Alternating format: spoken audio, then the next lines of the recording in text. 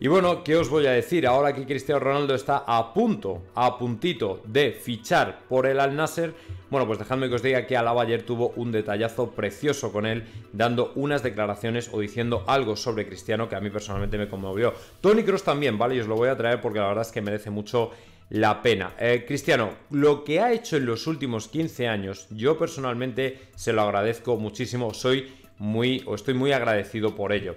Nos ha ayudado o ha ayudado a toda una generación a estar en forma. Es muy triste y vergonzoso que tengas que leer determinadas cosas sobre él. Efectivamente, yo estoy completamente de acuerdo con él. Cristiano Ronaldo fue el jugador que puso a toda una nueva generación de futbolistas en forma.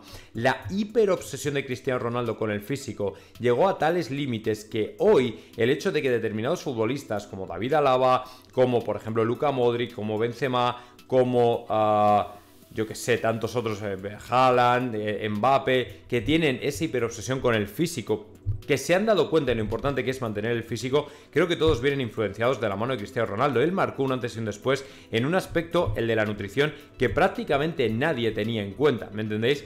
Entonces, a partir de ahí, yo personalmente creo que se le debe eso y que siempre se le reconocerá por eso mismo. Así que de verdad que ojalá, ojalá algún día la gente se dé cuenta de lo que ha ocurrido estos últimos meses con Cristiano Ronaldo. No últimos años de carrera, que cojones últimos años de carrera. Un tío que ha marcado más de 20 goles en cada uno de los equipos últimos en los que ha estado con más de 35 años. O sea, me, me come las pelotas lo que dice la peña en ese sentido, porque es, absolutamente vergonzoso. Pero bueno, en cualquier caso, yo estoy aquí con David Alaba de que se le debe mucho a este jugador y desde luego se le reconoce mucho menos de lo que ha influido en el fútbol actual.